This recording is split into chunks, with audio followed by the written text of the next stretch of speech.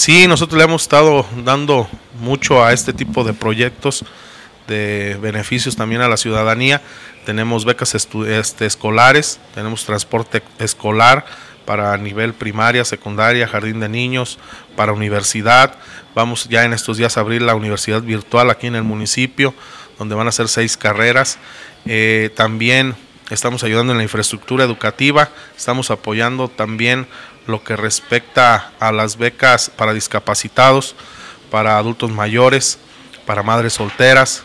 En lo que respecta a los discapacitados nos hemos enfocado mucho, tenemos eh, un centro de rehabilitación a nuestras posibilidades, pero tenemos alrededor de 140 niños que estamos atendiendo y que le estamos dando un seguimiento. Los días viernes los llevamos a la ciudad de Morelia también a terapia y por entre semana aquí se les da.